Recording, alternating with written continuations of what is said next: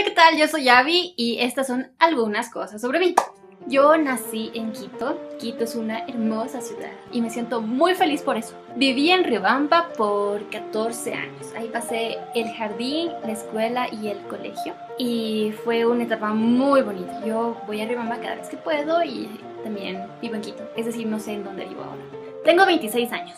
Yo amo, recontra amo y me fascina cantar. Puedo pasar el 80% de mi día cantando acerca del amor, la vida, el dolor, la pena y todo. Yo amo cantar.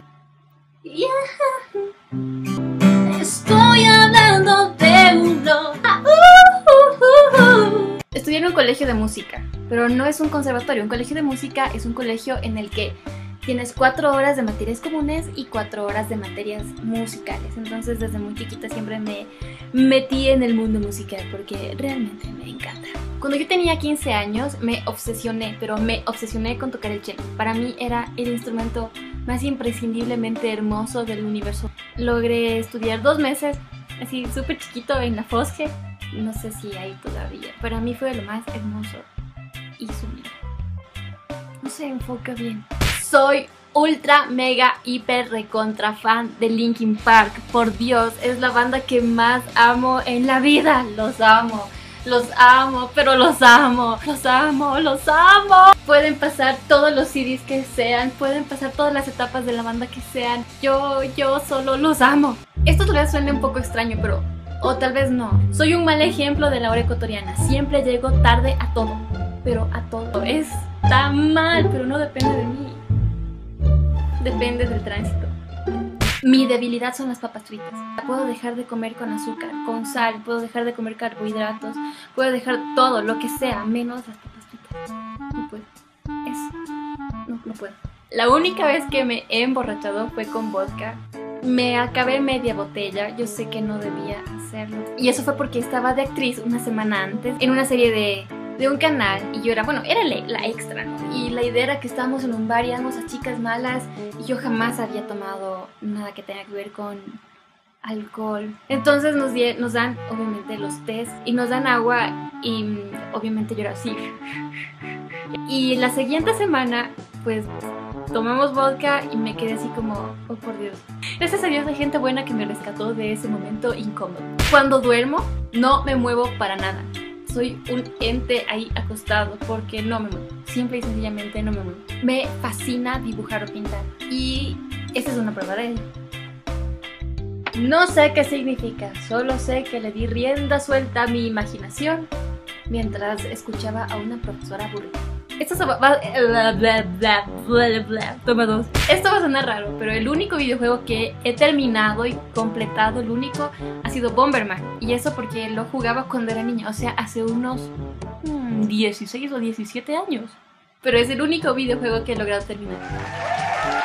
Cuando tenía más o menos unos 15 años, justo en la época en la que estudiaba cello, me dediqué a estudiar disque karate. Un día llegué a la casa y mi hermana estaba enojada conmigo y estaba enojada con ella y no sé ni por qué. Entonces lo único que hice fue... No se desmayó, sino que literalmente del dolor ella se fue a dormir y me, me, siento avergonzada por eso. Para la estatura ecuatoriana soy un poquito alta, pero no es que sea tan alta en realidad, mido solo 1,65. Mi primera banda de música fue una banda de post-hardcore melódico que se llamaba Vale. Y estuvimos durante algún tiempo, tengo los mejores recuerdos, pero el asunto es que yo no me sentía totalmente cómoda dentro del ambiente, dentro de un ambiente cerrado, porque creo yo que la música debe abrir, abrirte puertas. Y si más bien comienza a cerrarte, entonces tienes que salir de ahí. Y eso fue lo que hice. Después que salí de mi banda de, de, de, post-hardcore, mi banda Ballet, decidí comenzar mi proyecto musical desde donde yo quería hacerlo. Entonces empecé a hacer música sin un parámetro establecido y de ahí tengo algunas canciones. Yo no te quiero perfecto, yo no te quiero correcto tan solo. Te quiero así, tal cual. Yo me acuerdo que era niña y le cantaba canciones a mi mamá y le decía, mamá, mamá, te quiero, mamá. Básicamente lo que hago hasta. Soy terrible, pero terrible para ver series. La única serie que me he puesto a ver y me he determinado a ver es Game of Thrones y eso porque necesitaba una serie contemporánea en la que yo estuviera como que al tanto de lo que pasa porque estaba absolutamente desconectada. Soy torpe, soy súper torpe. Puedo ir por la calle caminando y ¡pam! me caí. O puedo ir por la calle y ¡boom! me golpeé. Y es porque cuando era niña crecí muy rápido, entonces el cuerpo tiende a no entender cuán grande y largo y ancho es. Una vez estaba en el colegio. Gracias a Dios estaba con el uniforme de educación física que es con calentador. Y yo caminaba, iba corriendo en el patio general cuando ¡pum! me caí en un basurero. Nunca de los nunca, con toda la torpeza del mundo, jamás me he quebrado un solo hueso. Confesión. Cada que compro comida pienso en la cantidad de calorías que estoy comiendo. No hay nada más delicioso que el sushi para mí. Amo el sushi.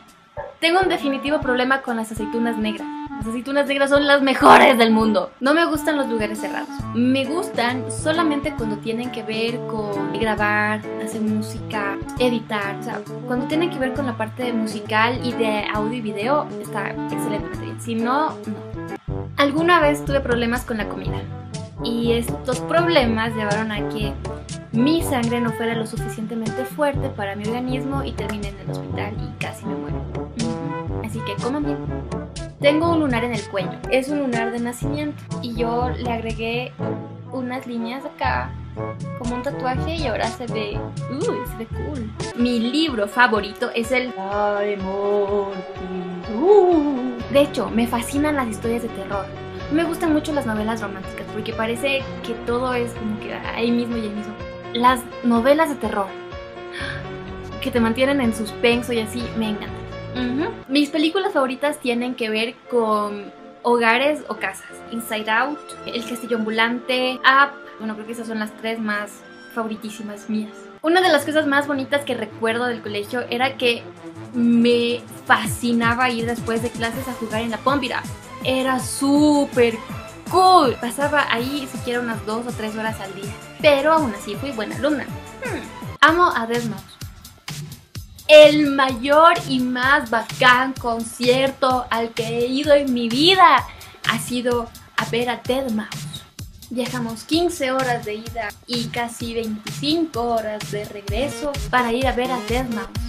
Amamos al ratón.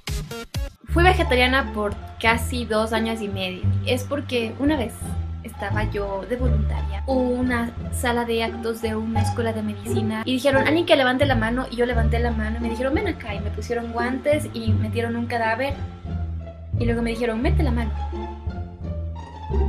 Todo parecía apoyo a carne, era cerdo, o sea, era lo No pude comer más. Mi banda favorita de Ecuador se llama Sacrificio es la mejor banda para mí. Son una banda de rock de Guayaquil. Bien, guayacos, muy bien. Hace poco más de dos años tuve un encuentro con Dios. Fue a raíz de que tenía muchos problemas. Yo ya había entendido que uno tiene que tomar la vida por los cuernos y solamente hacer las cosas y disfrutarlo y soñar, pero nunca había entendido lo que significa entregarle la vida a Dios. Yo soy cristiana, sí, pero tranquilidad, no soy de las cristianas que están 20 padres nuestros con la Biblia todo el día y dicen, pecador, inmundo, te vas a morir en el infierno. Ni Rambo saca la bazooka. Yo creo que ser cristiano también es una cuestión de entender la libertad. No depende de cómo yo me vista ni de cómo yo haga las cosas.